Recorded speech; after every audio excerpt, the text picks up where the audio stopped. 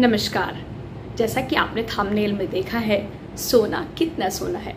तो कई लोगों को सोना बहुत पसंद होता है और कई लोगों को नींद ही नहीं आती है। तो हम आज की वीडियो में जानेंगे सोने से रिलेटेड कुछ वर्ड्स और उसके यूसेज के बारे में। In day to day life में हमें सोने से रिलेटेड बहुत सारे वर्ड्स को यूज़ करना होता है। जैसे कि करवट बदलना, पेट के बल सोना, नींद में चलना यस और नींद नहीं आना रात में डरावने सपने देख तो आज हम जानेंगे सोने से रिलेटेड कुछ इंटरेस्टिंग फ्रेजेस और वर्ड्स के बारे में। तो चलिए शुरू करते हैं। सबसे पहला वर्ड है सोना। सोने को हम इंग्लिश में बोलते हैं स्लीप और यू कैन से स्लीपिंग तो हम एग्ज़ाम्पल के तौर पे कह सकते हैं आई एम स्लीपिंग यस अगर मैं बोलूँ कि मुझे बहुत नींद आ रही है या उसे बहुत नींद आ रही है तो उसके लिए हम एक वर्ड यूज़ कर सकते हैं feeling sleepy yes so we can say that I am feeling very sleepy yes और I am feeling sleepy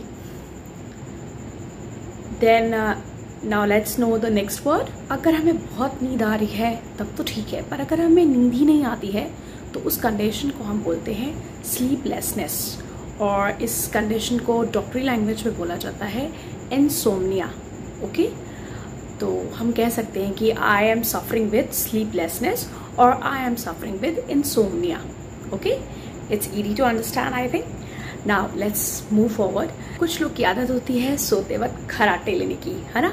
तो उस खराटे लेने की जो वर्ब होती है, क्रिया होती है, उसे हम बोलते हैं स्नोर यस सो हम बोल सकते हैं कि he is snoring while sleeping yes वो सोते वक्त खराटे लेता है. ओके नाउ नेक्स्ट वर्ड है, अगर कुछ लोगों की आदत होती है कि वो नींद में चलते हैं यस yes? तो उस कंडीशन को हम बोलते हैं sleep walk yes so may be may be some people suffer with sleep walk yes तो कहते हैं कि मुझे नींद में चलने की आदत है I am suffering with sleep walk yes अब नेक्स्ट वर्ड है, देर तक सोना। तो अगर कोई बहुत देर तक सोता है और आपको कहना है, आपको देर तक नहीं सोना है तो आप क्या बोलोगे? उसके लिए हम यूज़ करेंगे वर्ड स्लीप इन एना देर तक मत सो। एना डोंट स्लीप इन तो स्लीप इन जो वर्ड है, और यू कैन से फ्रेज है, वो हम यूज़ करते हैं देर तक सोने के लिए। तो हमें देर तक नहीं सोना चाहिए। Don't sleep in okay now next word है। आप बोलते हो ना कि सोते वक्त करवट बदलते रहते हैं। इंग्लिश में हम करवट बदलने को बोलते हैं टॉस एंड टर्न तो अगर हमें सेंटेंस बनाना हो तो हम क्या बोलेंगे? I am turning toss and turn all night इसका मतलब मैं सही से नहीं सो पाई। ओके नाउ नेक्स्ट हम देते हैं, कुछ कहते हैं कि हम पेट के बल सोते हैं। या पेट के बल नहीं सोना चाहिए।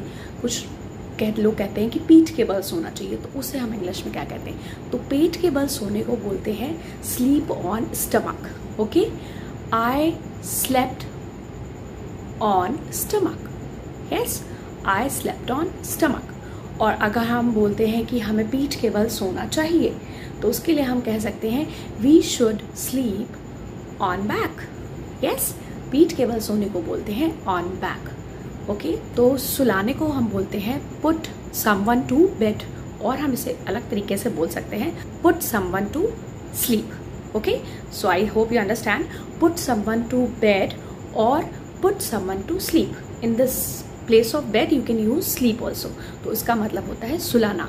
तो एग्ज़ाम्पल के तौर पे हम कह सकते हैं did you put kids to sleep did you put kids to bed. Yes. So, i hope you understand how we use सुलाना yes. Next, हम लेते हैं बच्चों को लोरी सुनाना, है ना? बोलते हैं कि लोरी सुनाया जाता है। तो लोरी सुनाने को इंग्लिश में क्या बोलते हैं? तो इसके लिए हम बोलते हैं sing a lullaby yes sing a lullaby तो लोरी सुनाने को इंग्लिश में बोलते हैं ललीबाय ओके तो झपकी आने को हम इंग्लिश में बोलते हैं हैव अ नैप यस और टेक अ नैप ओके तो नैप मतलब होता है शॉर्ट स्लीप यस आप लोग सपने देखते होंगे ना? उसे हम इंग्लिश में क्या बोलते हैं? सपने को ड्रीम यस तो अगर किसी को कोई डरावना सपना आया तो हम उसे क्या बोलेंगे? यस तो उसे हम बोलेंगे let's see for example first I had nightmare at night nightmare होता है मतलब डरावना सपना देखना, ठीक है? तो इसे हम इंग्लिश में नाइट मेयर बोलेंगे। यानी मैंने कल रात को एक डरावना सपना देखा। Yes I hope you like this video. If you like this video, then like, subscribe and share. Bye bye.